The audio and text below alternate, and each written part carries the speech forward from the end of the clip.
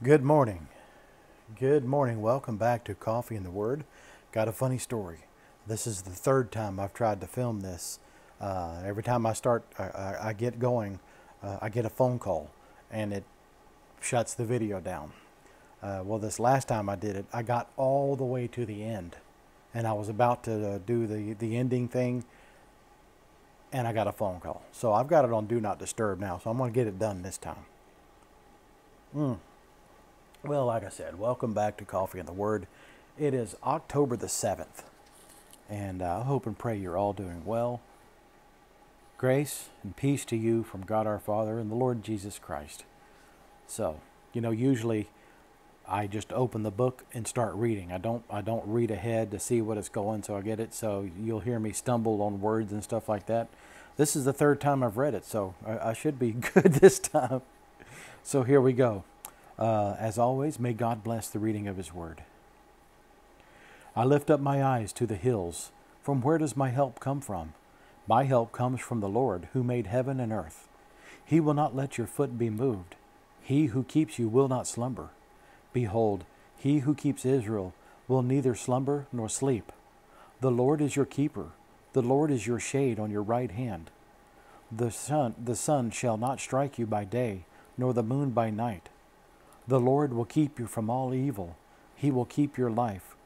The Lord will keep your going out and your coming in, for this time forth and forevermore. And the Old Testament lesson this morning. Let me get some coffee.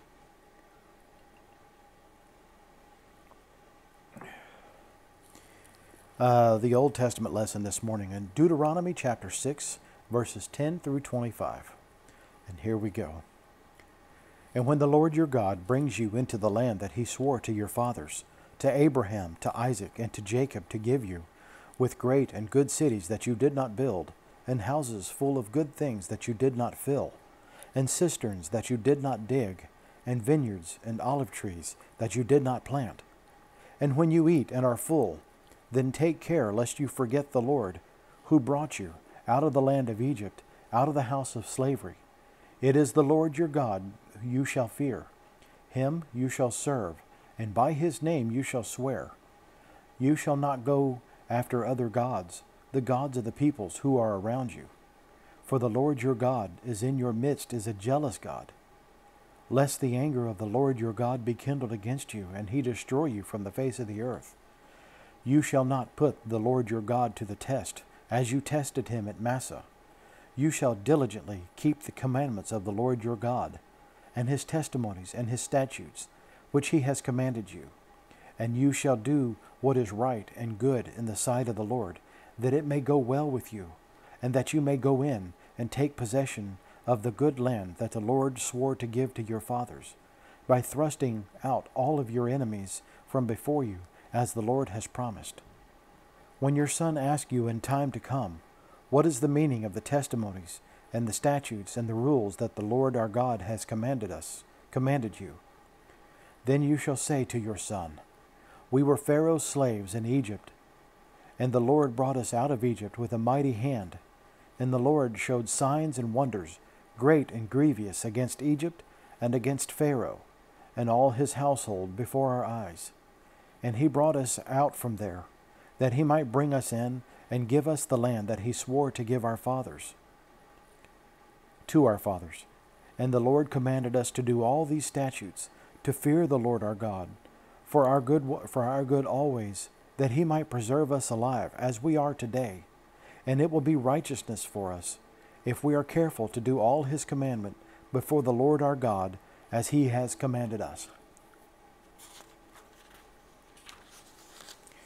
the New Testament lesson this morning. We're in the Gospel of Matthew. Got my Cheryl mug. Rick, uh, Rick mentioned this the other day. Got my Cheryl mug. the New Testament lesson. It's at the Gospel of Matthew, chapter 9, verses 18 through 38. And while he was saying this th- these things to them, behold, a ruler came in and knelt before him, saying, my daughter has just died, but come, lay your hand on her, and she will live. And Jesus rose and followed him with his disciples. And behold, a woman who had suffered from a discharge of blood for twelve years came up behind him and touched the fringe of his garment. For she said to herself, If I only touch his garment, I will be made well. Jesus turned, and seeing her, he said, Take heart, daughter, your faith has made you well. And instantly the woman was made well. And when Jesus came to the ruler's house and saw the flute players and the crowd making a commotion, he said, Go away, for the girl is not dead, but sleeping. And they laughed at him. But when the crowd had been put outside, he went in and took her by the hand, and the girl arose. And the report of this went through all that district. And as Jesus passed on from there, two blind men followed him, crying out loud, Have mercy on us, son of David. When he entered the house, the blind men came to him, and Jesus said to them, Do you believe that I am able to do this? And they said to him, Yes, Lord. Then he touched their eyes, saying, According to your faith, be it done to you. And their eyes were opened. And Jesus sternly warned them, See that no one knows about it. But they went away and spread his fame through all that district. And as they were going away, behold, a demon oppressed man, who was mute, was brought to him. And when the demon had been cast out, the mute man spoke, and the crowds marveled, saying, Never was anything like this seen in Israel. But the Pharisees said, He cast out demons by the prince of demons. And as Jesus went throughout all the cities and villages, teaching in their synagogues and proclaiming the gospel of the kingdom, and healing every disease and every affliction, when he saw the crowds, he had compassion for them, because they were harassed and helpless, like sheep without a shepherd. Then he said to his disciples, the harvest is plentiful, but the laborers are few. Therefore, pray earnestly to the Lord for the harvest, to send out laborers into his harvest. And this is the word of the Lord. The hymn hymnody this morning. If thou but trust in God to guide thee. It's from, again, it's from the LSB. And for my friends out there and other Facebook places and all that stuff, this is a Lutheran publication. Uh, I'm Lutheran, so that's what I do. Uh, and the hymnody goes like this just a few lines this morning. If thou but trust in God to guide thee, and hope in Him through all thy ways, He'll give thee strength, whatever betide thee, and bear thee through the evil days. Who trust in God's unchanging love, builds on rock that naught can move. That's good. Let us pray. Lord Jesus Christ, the Good Shepherd of your people, we give you thanks for your servant Henry Melchior Muhlenberg, who was faithful in the care and nurture of his flock entrusted to his care, so they may follow his example and the teaching of his holy life. Give strength to pastors today who shepherd your flock, so that by your grace your people may grow into the fullness of life intended for them in paradise. For you live and reign with the Father and the Holy Spirit, one God, now and forever. Amen. All right.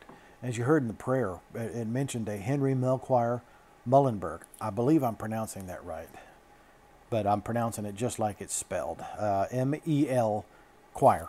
So, anyway, uh, I'd like to share this with you. Moving from the old world to the new, Henry Melchior Muhlenberg established the shape of Lutheran parishes in North America during a 45 year ministry in Pennsylvania. Born in Einbeck, Germany, I think I'm pronouncing that right too, in 1711, he came to the American colonies in 1742. A tireless traveler, Muhlenberg helped to found many Lutheran congregations and was the guiding force behind the first Lutheran Synod in North America the Ministerium of Pennsylvania, founded in 1748. He valued the role of music in Lutheran worship, often, often serving as its own organist, and was also the guiding force in preparing the first American Lutheran liturgy, also in 1748. Muhlenberg is remembered as a church leader, a journalist, a liturgist, and above all, a pastor to the congregation in his charge. He died in 1787 leaving behind a large extended, extended family and a lasting heritage, American Lutheranism. And that's good stuff. All right. Well, I hope and pray that you all have just a fantastic day and uh, do whatever makes you happy. Above all, stay safe. So, with that, I'm going to go ahead and sign off. So, be safe, be happy, and be blessed. And we will see you tomorrow on Coffee and the Word. Bye bye. God bless.